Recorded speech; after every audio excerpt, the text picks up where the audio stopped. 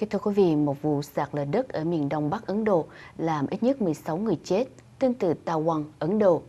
Ít nhất 16 người đã thiệt mạng trong một vụ sạt lở đất vào khoảng 3 giờ sáng hôm thứ Sáu tại quận Tawang trong tiểu bang Arunachal Pradesh ở miền đông bắc xa xôi của Ấn Độ.